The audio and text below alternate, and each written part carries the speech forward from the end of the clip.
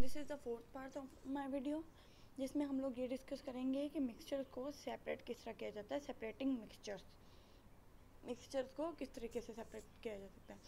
One difference between a mixture and a compound is that it is usually quite easy to get back the substances that went into a mixture, but very difficult to get back the substances that reach to form a compound.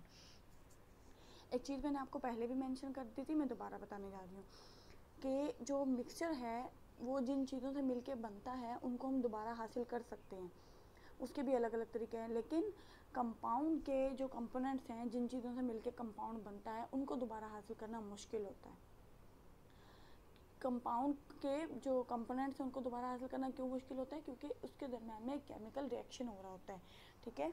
वो chemical reaction वो chemical reaction की वजह से वो आपस में इतने मर्ज हो जाते हैं कि उनको अलग करना मुश्किल होता है। मिक्सचर के कंपोनेंट्स को अलग करना आसान है, लेकिन कंपाउंड के जो कंपोनेंट्स हैं, उनको अलग करना मुश्किल होता है।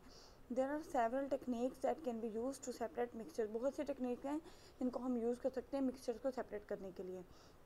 नंबर वन पे है filtration if you have a mixture of a liquid and a solid that has not dissolve you can separate the liquid and solid by filtering अगर आपके पास कोई ऐसा लिक्विड और सॉलिड है जो आपस में मुकम्मल तौर पे हल नहीं हुए, ठीक है? तो आप उसको किस तरीके से अलग कर सकते हैं? फिल्ट्रेशन के ज़रिए से। अब ऐसा कौन सा सॉलिड लिक्विड है जो आपस में हल नहीं हुआ? रेत और पानी, मिट्टी और पानी कम्प्लीटली हल नहीं होता, ठीक है? रह जाता है। तो आप उसको अलग कर सकते हैं। अब देखना है किस तरीके से। During filtering the mixture is poured into a filter paper held in a funnel ये इसको फनल या कीफ कहते हैं। इसके अंदर ये आपको ब्राउन कलर का नज़र आ रहा होगा। ये वाइट कलर का गोल सा फ़िल्टर पेपर होता है। इसको हम लोगों ने शेप दे के इसके अंदर लगा दिया, ठीक है? The filter paper is full of tiny holes and act like a sieve और ये जो फ़िल्टर पेपर होता है, इसमें बहुत छोटे छोटे सुराख होते हैं, जो छन्नी का काम करते हैं। The large particles of the solid are too large to go through the tiny holes and are left in the filter paper as a residue. जो आ, मिट्टी के पार्टिकल्स होते हैं बड़े होते हैं। वाटर के जो मॉलिक्यूल्स होते हैं वो छोटे होते हैं लेकिन मिट्टी के पार्टिकल्स बड़े होते हैं। अब वो मिट्टी जो होती है वो इस फ़िल्टर पेपर से पास नहीं कर सकेगी। ठीक है उसके पार्टिकल्स बड़े हैं तो वो ऊपर ही रह जाएगी। इसके सुराख में से पास नहीं कर सकेगी। और जो पानी है, उसके मॉलिक्यूल्स छोटे हैं तो वो सुरा, उसमें से, इसके छोटे छोटे सुराखों में से पास कर जाएँगे। अब जो चीज़ ऊपर फ़िल्टर पेपर के ऊपर रह जाएगी, जिसको हम अलग कर रहे हैं सॉलिड हमारा, उसे कहेंगे रेजिड्यू ठीक है? और जो लिक्विड के स्मॉलर पार्टिकल्स पास कर जाएँगे, ठीक है? वो यहाँ पे सेव हो जाएँगे, इसको हम क्या कहेंगे? फिल्ट्रेट ये आपका रेजिड्यू है, जो आपका, जिस चीज़ को आप अलग कर रहे हैं, और ये आपका फिल्ट्रेट है, जिसको आप साफ़ कर रहे हैं। In this phase insoluble solid and the liquid are separated और इस तरीके से इंसॉलेबल सॉलिड जो यहाँ पे मौजूद है और लिक्विड को अलग कर दिया जाता है, ठीक है? Filtering can be use to separate in sand and water और चौक एंड वाटर ठीक है? फ़िल्टर की टेक्निक किस किस चीज़ को सेपरेट करने के लिए यूज़ होती है? सैंड एंड वाटर और चौक एंड वाटर, यानी कि रेत और पानी का जो सोल्यूशन होता है उसको और चॉक और पानी के सोल्यूशन को। It can not be use to separate salt and water because the tiny particles of dissolve salt go through the filter paper with the water ये कि, किस चीज़ को सेपरेट करने के लिए यूज़ नहीं हो सकता। सॉल्ट एंड वाटर को नमक और पानी का जो मिक्सचर होता है जो सोल्यूशन होता है उसको अलग करने के लिए ये इस्तेमाल नहीं हो सकता। वजह क्या है? क्योंकि जो नमक के पार्टिकल्स हैं वो पानी में हल हो चुके हैं। हल होने के बाद वो पानी के पार्टिकल्स की तरह बहुत छोटे हो चुके हैं। तो अब वो इसमें से इस फ़िल्टर पेपर की सुराखों में से गुज़र नहीं सकते। इसलिए इसके ज़रिए से हम नमक और पानी को अलग नहीं कर सकते लेकिन हम मिट्टी और पानी रेत और पानी चौक और पानी के मिक्सचर को अलग कर सकते हैं। Everyday examples of the use of filtration include filtering coffee, the use of a tea bag और टी strainer. हाँ जी आप टी बैग यूज़ करते हैं ठीक है? उसके अंदर जो आपकी चाय की पत्ती होती है वो टी बैग के अंदर मौजूद होती है ठीक है? ना वो पत्ती बाहर निकलती है ठीक है? वो पानी बाहर से अंदर जाता है और अंदर से उस पत्ती का टेस्ट लेके बाहर आ जाता है ठीक है? यानी कि पत्ती अंदर के अंदर ही रहती है, सिर्फ़ पानी अंदर जाता है और पानी ही बाहर आता है। अब वहाँ पे फ़िल्टर पेपर का काम कौन कर रहा है? जो टी बैग का जो कागज़ होता है, वो। The grates overdrain and the hairs in the nose which filter out dust particles from the air breathed in. ठीक है? जो नालियों के ऊपर हम लोग छोटी छोटी छन्नियाँ लगाते हैं, ठीक है? वो भी यही काम कर रही होती हैं। उसके अलावा जो हमारे नाक के बाल होते हैं, वो भी क्या कर रहे होते हैं? हवा जो अंदर जा रही होती है, उसमें से किस चीज़ को फ़िल्टर कर रहे होते हैं? डस्ट को फ़िल्टर कर रहे होते हैं डस्ट को आगे ही रोक रहे होते हैं और जो साफ़ हवा है, उसको अंदर भेज रहे होते हैं। Cars are fitted with oil and air filters to prevent dust and other unwanted particles getting into and damaging the engine. अच्छा कार में कार्स में क्या होता है? ऑयल और एयर फ़िल्टर मौजूद होते हैं। जो क्या कर रहे होते हैं? वो भी डस्ट पार्टिकल्स को अंदर नहीं जाने दे रहे होते और वो इंजन के अंदर जब नहीं जा रहा होता तो उसको डैमेज नहीं कर रहे होते dust particles vacuum cleaner are fitted with a cloth filter so that the dust they pick up is not circulated in the air vacuum cleaner जो होते हैं, उनके अंदर कपड़े का फ़िल्टर लगा हुआ होता है, किस लिए? ताकि जो भी वो डस्ट अपने अंदर ले रहे हैं, वो हवा में ना उड़े। People using sanding and grinding machine which throw up dust wear a face mask to filter out the dust from the air they breathe in जो लोग ग्राइंडिंग मशीन से काम कर रहे होते हैं जब ग्राइंडिंग मशीन का काम कर रहे होते हैं तो उससे ग्राइंडिंग के दौरान बहुत सी जो है ना डस्ट उड़ रही होती है, ठीक है? तो वो लोग जो वहाँ पे काम कर रहे होते हैं, वो क्या यूज़ करते हैं? मास्क यूज़ करते हैं। अब वो मास्क किस चीज़ का काम कर रहा होता है, वो फ़िल्टर पेपर का काम कर रहा होता है, और वो डस्ट को अंदर नहीं जाने देता। On a large scale, at a water treatment works, water, uh, water is filtered through layers of sand and gravel to clean it before it undergoes further treatments to make it fit for drink. ठीक है fit to drink. बड़े level पे क्या हो रहा होता है बड़े लेवल पे अगर आप फिल्ट्रेशन देखें तो वाटर की फिल्ट्रेशन हो रही होती है वहाँ पे क्या हो रहा होता है वहाँ पे ग्रेवल ये इसकी क्या कहते हैं बजरी की और रेत की तहें होती हैं ठीक है और कोयले की तहें होती हैं, जो क्या कर रहे होते हैं इनकी जो तहें होती हैं, इनके दरमियान में से पानी को गुजारा जाता है, इनके दरमियान में से पानी को गुजार के क्या किया जाता है, साफ़ किया जाता है। तो यहाँ पे जो बड़े लेवल पे फिल्ट्रेशन है, उसमें पानी की फिल्ट्रेशन आ जाती है। नेक्स्ट आपको ये डायग्राम बनी हुई नज़र आ रही होगी, ये जो फ़िल्टर्स हैं, ये कहाँ पे यूज़ होते हैं गाड़ियों में जो मैंने आपको बताया फ़िल्टर यूज़ होते हैं, वो ये होते हैं, ठीक है? The filters are use to remove unwanted dust and other particles from the engine oil and air intake of car गाड़ियों में जो इंजन ऑयल और जो हवा अंदर जा रही है, उसकी डस्ट को रिमूव करने के लिए ये वाले फ़िल्टर मौजूद होते हैं। और ये मैंने आपको बता दिया कि वाटर ट्रीटमेंट बड़े लेवल पे जो फिल्ट्रेशन पानी की हो रही होती है, वो इस तरीके से हो रही होती है। सैंड और ग्रेवल की लेयर्स होती हैं, जिनके और कोयले की लेयर्स होती हैं, जिनके अंदर से पानी को गुजारा जाता है और पानी क्या हो जाता है फ़िल्टर हो जाता है। यहाँ पे फ़िल्टर पेपर का काम ये तीनों चीज़ें कर रही हैं कोयला सैंड और ये बजरी। नेक्स्ट आपका evaporation you can not separate a dissolve solid such as salt from a liquid such as water by filtration but you can separate the salt by evaporation मैंने पहले जो आपको बताया फिल्ट्रेशन के बारे में बताया, हम वहाँ पे किन किन चीज़ों को सेपरेट करते हैं। एक ऐसे सॉलिड को जो लिक्विड में कम्प्लीटली हल नहीं हुआ या मिक्सचर नहीं बना कम्प्लीटली हल नहीं हुआ, ठीक है? उसको हम सेपरेट कर रहे होते हैं सॉलिड और लिक्विड को। अब कुछ ऐसे सॉलिड्स भी होते हैं जो डिज़ोल्व हो जाते हैं, ठीक है? लिक्विड के अंदर। ऐसे सॉल्यूट भी होते हैं जो सॉल्वेंट के अंदर डिज़ोल्व हो जाते हैं, हल हो जाते हैं। अब उनको किस तरह करें? जैसे आपका नमक और पानी है मैंने आपको बताया था कि नमक और पानी फिल्ट्रेशन से हल नहीं होता। उसका क्या तरीका है? उसमें होता है एवेपोरेशन का तरीका। अब एवेपोरेशन का तरीका मैं आपको बताऊँगी कि इवेपोरेशन के तरीके में क्या किया जाता है? बड़े बड़े बेसिन होते हैं आपको। यहाँ पर भी नज़र आ रहा होगा एक बड़े बड़े बेसिन होते हैं उसमें वो वाला पानी डाल दिया जाता है जिसमें से सॉल्ट को अलग करना होता है ठीक है? अब यहाँ पे हमें सॉल्ट चाहिए हम सॉल्ट को अलग करना चाह रहे हैं ठीक है? वहाँ पे हम पानी को अलग कर रहे थे। अच्छा अब हम आ, करते क्या हैं कि बड़े बड़े बेसिन होते हैं उनके अंदर हम नम, नमक वाला पानी डाल देते हैं और उनको बहुत हल्की आँच पे हम लोग हीट करना शुरू कर देते हैं ठीक है? हीटेड जेंटली हम उनको हल्की आँच पे हीट करना शुरू कर देते हैं तो क्या होता है जो लिक्विड होता है सॉल्वेंट होता है, वो वो भाप बन के उड़ जाता है, ठीक है? वो भाप बन के उड़ जाता है तो पीछे क्या चीज़ बचती है? सिर्फ़ और सिर्फ़ नमक। जो नमक जो सा होता है, वो अपनी क्रिस्टल्स बना लेता है बेसिन के ऊपर। क्रिस्टल्स होते हैं चमकदार, नोकीले, ठीक है? वो बना लेता है बेसिन के ऊपर। अच्छा कुछ जो गर्म इलाके होते हैं दुनिया के, वहाँ पे क्या होता है कि जो समंदर का पानी होता है, उसको हम बहुत बड़े बड़े शैलोस सॉल्ट पैन्स में डालते हैं बड़े बड़े जो खुले खुले सॉल्ट पैन होते हैं, यहाँ पे आपको सॉल्ट पैन नज़र आ रहा होगा बड़े बड़े उनमें हम समंदर के पानी को डाल देते हैं और क्या करते हैं कि जो सूरज होता है, वो उसको धीरे धीरे धीरे धीरे हल्के हल्के हल्के हल्के गर्म करता रहता है, ठीक है? उस पानी को गर्म करता रहता है। अब वो पानी भाप बन के उड़ता रहता है सूरज की गर्मी की वजह से और पीछे क्या चीज़ रह जाती है? पीछे सॉल्ट रह जाता है।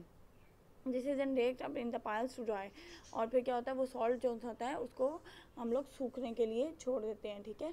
क्या होता है कि बड़े जो कंट्रीज़ होते हैं, गर्म कंट्रीज़ होते हैं, उनमें हम क्या करते हैं, समंदर का पानी लेके उसको बड़े बड़े जो सॉल्ट पैंस होते हैं, उनमें उसको डाल देते हैं, ठीक है? और बस अब उसको हम छोड़ देते हैं। फिर क्या होता है, वहाँ पे सूरज की रोशनी के ज़रिए से वो सारे पानी को सूरज की रोशनी भाप बना के उड़ा देती है। जो पीछे चीज़ बचती है, वो क्या होता है? नमक। अब आपको ये नमक नज़र आ रहा होगा। In places with a warm climate जहाँ पे गर्म मौसम होता है, वहाँ पे salt is obtained by evaporating sea water in large salt pan salt नमक किस तरीके से हासिल किया जाता है? बड़े बड़े पैंस में से सी वाटर को हम लोग इवेपोरेट कर लेते हैं, ठीक है? और क्या चीज़ बच जाती है? सिर्फ़ और सिर्फ़ सॉल्ट वहाँ पर बच जाता है। Next is sublimation. A few solid substances go straight to the gas stage when they are heated, missing out the usual liquid stage. आप लोगों ने आमतौर पर देखा होगा कि जब हम बर्फ़ लेते हैं बर्फ़ उसको हम किसी भी पैन में डाल के चूल्हे पे रखते हैं तो वो गर्म होती है ठीक है बर्फ़ होती है सॉलिड अब उसको हमने पैन में डाल के चूल्हे पे रखा गर्म किया तो वो किस चीज़ में कन्वर्ट हो गई लिक्विड में कन्वर्ट हो गई और उसके बाद हम उसको और पकाते रहेंगे उस लिक्विड को तो वो किस चीज़ में कन्वर्ट हो जाएगा? भाप बन के गैस में कन्वर्ट हो जाएगा, ठीक है? लेकिन कुछ सॉलिड्स ऐसे होते हैं जो कि डायरेक्ट इस, उसको सीक्वेंस को मिस करते हैं। जैसे पहले सॉलिड होता है सॉलिड से लिक्विड लिक्विड से गैस। कुछ सॉलिड्स ऐसे होते हैं, वो directly solid to gas convert हो जाते हैं, ठीक है? The best example is solid carbon dioxide और इसकी सबसे अच्छी एग्ज़ाम्पल सॉलिड कार्बन डाइऑक्साइड जिसे हम ड्राई आइस भी कहते हैं, ठीक है? This produce carbon dioxide gas as soon as it is warm जब जैसे ही सॉलिड कार्बन डाइऑक्साइड को गर्म किया जाए, वो फ़ौरन से गैस में कन्वर्ट हो जाती है। इसमें लिक्विड में कहीं कन्वर्ट नहीं होती। कुछ और भी सब्सटेंस होते हैं, जिस तरीके से एवेपोरेट हो जाते हैं और गैस में कन्वर्ट हो जाते हैं, जिनमें है आयोडीन और सल्फ़र ठीक है? आयोडीन और सल्फ़र जो है, वो इसी तरीके से करते हैं कि वो डायरेक्ट सॉलिड से गैस में कन्वर्ट हो जाते हैं लिक्विड में कन्वर्ट नहीं होते। Sublimation example of this kind of sublimation and this property can be use to purify such substances हाँ जी। अब ये प्रॉपर्टी किस लिए यूज़ होती है? इस प्रोसेस को कहते हैं सब्लिमेशन जिसमें सॉलिड से डायरेक्ट गैस में कन्वर्ट हो जाए इस प्रोसेस को क्या कहते हैं? सब्लिमेशन अब जो सब्लिमेशन है आ, इसके ज़रिए से हम बहुत से सब्सटेंसेस को प्योर कर सकते हैं। कुछ सब्सटेंसेस होते हैं ना हमें प्योर नहीं मिलते हम उसको प्योर कर सकते हैं। आप किस तरीके से? कि आपके पास आयोडीन है इनप्योर आयोडीन क्रिस्टल हैं ठीक है? जो खालिश आयोडीन नहीं है उसको अब हम खालिश करना चाह रहे हैं वो जो खालिश आयोडीन नहीं है वो हमारे पास मौजूद है ठीक है? अब हम उस आयोडीन को एवेपरेटिंग बेसन में ये आपके पास एवेपरेटिंग बेसन है ठीक है? इसके अंदर आप उसको डाल देते हैं आयोडीन को ठीक है? और एक इसके ऊपर फनल इन्वर्ट करके रख देते हैं यानी कि उल्टी करके रख देते हैं ठीक है? और आ, क्या कहते हैं बीच में एक फ़िल्टर पेपर रख देते हैं या ही, और हीट प्रूफ डिश रख देते हैं। जब बेसन हीट होता है आहिस्ता आहिस्ता से जिसको हम हीट करते हैं जब ये आहिस्ता आहिस्ता हीट होता है तो आयोडीन जो थी ये वाली आयोडीन है इसके डायरेक्टली क्या बनेंगे वेपर्स बनेंगे पर्पल कलर के ये वेपर्स बन के यहाँ ऊपर जाते हैं ठीक है? इन्वर्टेड जो आपकी आ, फनल रखी हुई है वहाँ पे चले जाते हैं ठीक है? अब the iodine gives off a purple vapour which as soon as it touches the core sides of the funnel turns back into the solid iodine. अब ये जो फनल है ये ठंडी है ठीक है? हीट प्रूफ डिश हमने इसलिए दरमियान में रखी ना ताकि इसकी गर्मी यहाँ तक ना पहुँच पाए इसकी हीट यहाँ तक ना पहुँच पाए। अब यहाँ से आ, हम इसको आयोडीन को हीट कर रहे हैं। अब ये डायरेक्टली कन्वर्ट हो रही है वेपर्स में। दरमियान में आपके आ गया हीट प्रूफ डिश जो इसको गर्म नहीं होने दे रही। अब ये वेपर्स डायरेक्टली जाते हैं इसमें और ये ठंडी है। अचानक से ठंडी चीज़ को जाके वेपर्स टकराते हैं। तो क्या हो जाते हैं? सॉलिड में कन्वर्ट हो जाते हैं, ठीक है? और इस तरीके से सारी जो प्योर आयोडीन है, वो ऊपर चली जाती है और जो फालतू चीज़ें हैं, जो इम्प्योरिटीज़ हैं, उसके अंदर वो यहाँ रह जाती हैं, ठीक है? ये तरीका होता है सब्लिमेशन का, जिसमें हम इम्प्योर चीज़ों को प्योर करते हैं। इसमें भी हम लोगों ने दो चीज़ों को सेपरेट किया, ठीक है? ये बना हुआ एक तरीके से मिक्सचर था, जिसको हमने सेपरेट कर लिया। हमने इसको हीट दी इम्प्योर आयोडीन डाली इसमें हीट प्रूफ डिश दरमियान में लगाई, एक फनल लगाई दरमियान में, ठीक है? और आयोडीन आयोडीन के वेपर्स ठंडे होते गए और प्योर क्रिस्टल बनाते गए और एक चीज़ मेन कि हमने इस फनल को ऊपर वाले हिस्से से क्लोज कर देना नेक्स्ट हमारा है प्रोसेस जो सा मिक्सचर को सेपरेट करने का distillation Distillation is a process used to separate the solvent from a solution. If, for example, you had some seawater and wanted to obtain pure water from it, you would need to heat the water until it boils. You would then cool and condense the steam or water vapor produced. The steam or water vapor turns back into liquid water, which is absolutely pure. It is called distilled water. Distillation एक ऐसा process है जिसमें हम solvent को solution से separate करते हैं। अब सॉल्वेंट को सॉल्यूशन से कैसे? नमक और पानी का मिक्सचर है, ठीक है? अब इसमें जो चीज़ ज़्यादा है, वो है सॉल्वेंट और जिस चीज़ कम है, वो है सॉल्यूट अब नमक और पानी के मिक्सचर में क्या चीज़ ज़्यादा है? पानी ज़्यादा है। कम क्या चीज़ है? नमक कम है, ठीक है? अब हम वो उस चीज़ को हासिल करना चाह रहे हैं जो ज़्यादा है। फॉर एग्ज़ाम्पल पानी. अब हम उसको किस तरीके से करते हैं, ठीक है? जैसे हम लोगों ने सी वाटर लिया, ठीक है? और उस सी वाटर से हम लोग खालिश पानी हासिल करना चाह रहे हैं, ठीक है? तो हमें क्या करना होगा? सबसे पहले तो उस पानी को लेके हमें हीट करना होगा कि वो बॉयल होना शुरू हो जाए। आपको नज़र आ रहा है, ये बॉयल हो रहा है। ये सी वाटर आपने लिया, इसको आपने हीट दी और ये बॉयल होना स्टार्ट हो गया, ठीक है? अब उसके बाद वो जो वेपर्स हैं, वो ऊपर जा रहे हैं। जाने के बाद यहाँ से इनसे एक वाटर कूल कंडेंसर लगाया हुआ है, जो इन, यहाँ से इसकी भाप बन के उड़ रही है पानी की, और वो भाप यहाँ जा रही है। यहाँ पे हमने वाटर कूल कंडेंसर कंडेंसर लगाया हुआ है, जो क्या कर रहा है, इस भाप को फ़ौरन से फ़ौरन ठंडा कर रहा है, ठीक है? ठंडा करके किस चीज़ में कन्वर्ट कर रहा है? पानी में। अब ये जो पानी यहाँ आ रहा है अब ये जो पानी है, ये प्योर वाटर है, ठीक है? इसमें नमक बिल्कुल नहीं है, क्योंकि नमक तो वेपरेट नहीं हुआ, नमक तो भाप बन के नहीं उड़ा, पानी भाप बन के उड़ा है, वो उसको हमने ठंडा करके यहाँ पे हासिल कर लिया, ठीक है? द स्टीम और water vapours turn back into liquid water which is absolutely pure इस स्टीम को हम लोग किस चीज़ में दोबारा बना लेते हैं? वाटर में, जो बिल्कुल प्योर होता है। इसको कहते हैं, इस पानी को कहते हैं डिस्टिल्ड वाटर या प्योर वाटर या डिस्टिल्ड वाटर अच्छा यहाँ पे हमने थर्मोमीटर लगाया हुआ है, किस लिए? हम इसका टेम्परेचर मेजर करने के लिए कि ये उबलना शुरू हुआ proper temperature hundred degree centigrade हुआ या नहीं हुआ। Many flowers contain fragrant oils which are use to make perfume बहुत से फ्लावर्स में बहुत खूब भीनी खुशबू वाला ऑयल होता है, ठीक है? बहुत अच्छी खुशबू वाला ऑयल होता है, जिससे हम क्या चीज़ बनाते हैं? परफ्यूम्स बनाते हैं। The oil is obtained by heating the flowers and distilling the vapours which come off ठीक है? ऑयल किस तरीके से हासिल होता है कि हम फ्लावर्स को पहले हीट करते हैं। जब हम उन फ्लावर्स को इस जगह हीट कर रहे होते हैं तो उनमें से भी वेपर्स निकलते हैं। जब वो वेपर्स निकलते हैं, उन वेपर्स को हम यहाँ ले जाके ठंडा करते हैं और फिर वो लिक्विड में जब कन्वर्ट हो जाते हैं तो हम उनको अलग ले जाते हैं, ठीक है? In some countries where drinking water is short is in short supplied but they are plentiful quantities of oil और other fuels drinking water is produce by distilling sea water ठीक है? क्या कहते हैं कुछ कंट्रीज़ में ऐसे होता है uh, जो पानी पीने का पानी होता है वो बहुत कम होता है ठीक है? अब उनके पास समंदर भी होता है उन लोगों के पास और उनके पास क्या होता है उनके पास फ्यूल भी ज़्यादा है। तो वो क्या कहते हैं करते हैं अपने उसी समंदर के पानी को पीने के काबिल बना लेते हैं इस तरीके से। उसको गर्म करते हैं फिर उसकी स्टीम को ठंडा करके पानी वो पानी में कन्वर्ट हो जाती है उसको अलग कर लेते हैं और इस पानी को वो लोग पीने में इस्तेमाल करते हैं जिसको हम लोग कहते हैं डिस्टिल्ड वाटर ठीक है? ऑयल कंपनीज़ अपने their oil by drilling wells in ground और in docks under the sea oil companies अपने ऑयल कहाँ से लेती हैं? या तो वो जेर ज़मीन कुएँ खोद के वहाँ से अपने जो ऑयल हैं वो निकालती हैं।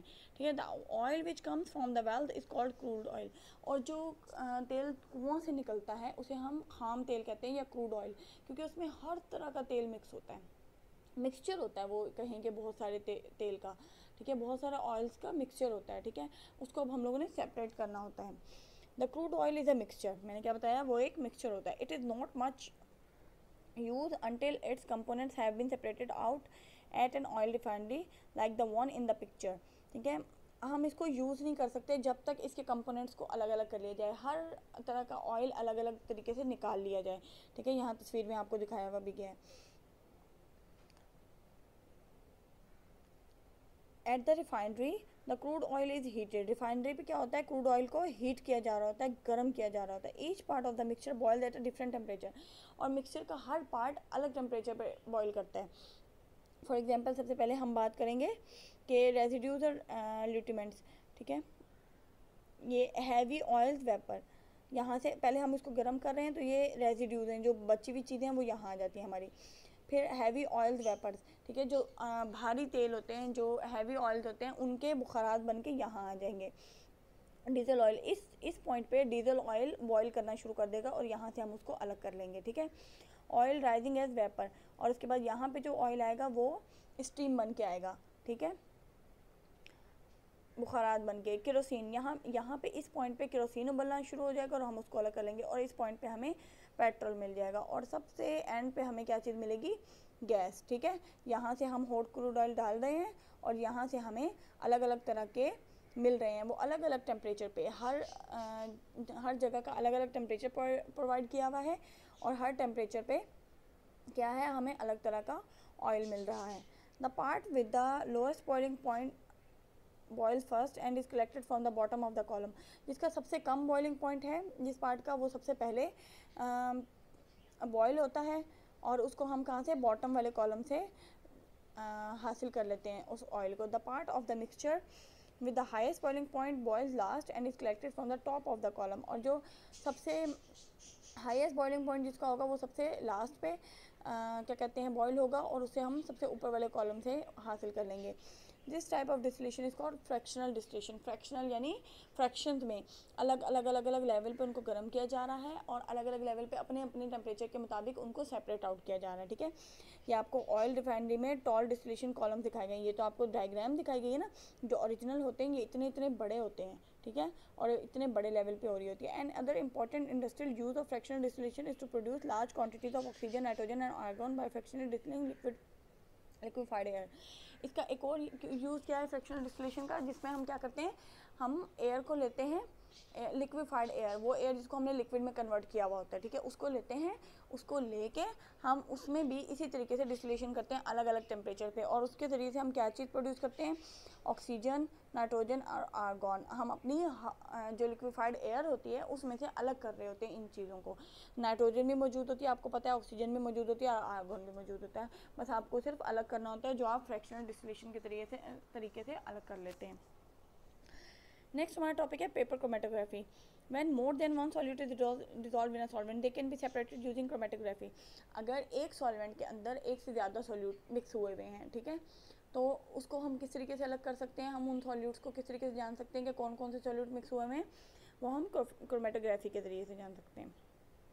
Chromatography works because the dissolved substances, the solutes have different size particles which travel at different speeds across along long or a long ठीक है? क्रोमेटोग्राफी किस तरीके से काम करती है कि जो डिजॉल्व सब्सटेंस होते हैं, जो सॉल्यूट होते हैं, वो उनके डिफरेंट पार्टिकल्स के डिफरेंट साइज़ होते हैं, ठीक है? वो जो डिफरेंट साइज़ के पार्टिकल्स होते हैं, वो डिफरेंट स्पीड से ट्रैवल करते हैं, ठीक है? तो इस तरीके से हमें पता चल जाता है कि कौन कौन सा कलर जो है वो यूज़ किया है फ़िल्टर पेपर के अंदर। Chromatography is particularly useful in separating the different coloured chemicals अलग अलग कलर के केमिकल्स को हम लोग चेक करने के लिए और टू सॉरी इन डाइस जो कलर्स हमारे डाइज होते हैं उनमें अलग अलग कलर के केमिकल्स होते हैं उनको चेक करने के लिए फ़ूड कलरिंग जो हमारे खाने के कलर्स होते हैं उनको कल, चेक करने के लिए एंड इंक्स और जो हमारी इंक्स होती हैं उनको चेक करने के लिए ठीक है? Scientist use chromatography to identify blood sample scientist किस काम के लिए यूज़ करते हैं? ब्लड सैंपल्स को आइडेंटिफाई करने के लिए ठीक है? और यूरिन सैंपल्स को, ठीक है? To compare samples of chlorophyll from different plants और क्या कहते हैं? जो अलग अलग पौधों के क्लोरोफिल के सैंपल्स देते हैं, उनको स्टडी करने के लिए भी साइंटिस्ट पेपर क्रोमेटोग्राफी का तरीका यूज़ करते हैं। There are two main ways of using chromatography दो तरीके हैं क्रोमेटोग्राफी के यूज़ करने के। One is to cut a wick out of a circular filter paper and then to place a dot of in the centre of the paper सबसे पहले एक Wick काटनी है सर्कुलर गोल वाला फ़िल्टर पेपर लेना है आपने, उसकी एक विक काटनी है इस तरीके से, ठीक है? और उसके दरमियान में आपने इंक का ड्रॉप डालना है। The ink from felt tip pen work particularly well. अच्छा जो आप पेन की टिप से इंक जो इस पर अगर गिराएँगे तो वो अच्छे तरीके से काम करेगी। The wick is bend down in to a beaker of और वाटर और सम अदर सॉल्वेंट। अब इस फ़िल्टर पेपर को एक बीकर के ऊपर इस तरह रख देंगे और ये जो विक हमने काटी थी, ये ऑब्वियसली नीचे की तरफ़ मुड़ जाएगी, ठीक है? क्योंकि ये कटी हुई है, ठीक है? और ये मुड़ के क्या होगी? थोड़ी सी किसी सॉल्वेंट में डिप हो जाएगी, ठीक है? या पानी में या किसी भी सॉल्वेंट में। The solvent soaks of the wick in the main part of the filter paper as it does so The various dyes in the ink spread out, forming concentric concentric circles of different colour क्या होगा ये जो यहाँ पे Wick डूबी हुई है यहाँ से जो पानी है वो सोख करता हुआ ऊपर की जानिब आएगा अब यहाँ पे पानी के सोख करने से अलग अलग कलर की सर्कल्स बन जाएँगे जो जो कलर्स के आपने इंक यूज़ की हुई है वो उसके। ठीक है? A second method uses a rectangular of um, filter paper. A pencil line is drawn about one centimeter from the bottom. Of the paper. क्या है कि पेपर के बॉटम पे एक सेंटीमीटर की लाइन ड्रॉ करनी है, ठीक है?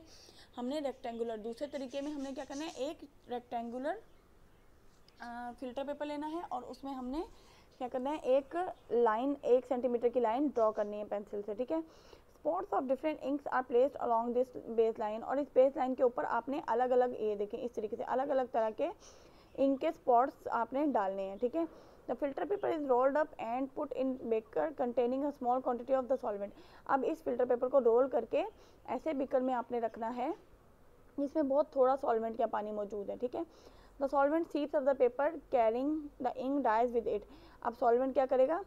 पानी के साथ ऊपर आ जाएगा, ठीक है? और उस इंक को भी ऊपर लेते हुए आएगा, जो इसके अंदर मौजूद थी। जो डाइज मौजूद है each different dye will form a band up to a certain point अब यहाँ पे देखें आपको हर डाई अलग अलग बैंड बना रहा है ठीक है? इससे पता चलेगा कि कौन कौन सी इंक इस सॉल्वेंट में कितने क्वांटिटी uh, में मौजूद थी। You can then compare an unknown ink to known inks to see which one it is अब आप कंपेयर uh, कर सकते हैं कि इसमें ये वाली इंक इतनी थी ये ग्रीन वाली इंक इतनी थी ब्लू वाली इंक इतनी थी ऑरेंज वाली इंक ये इतनी थी और रेड वाली इंक इतनी थी।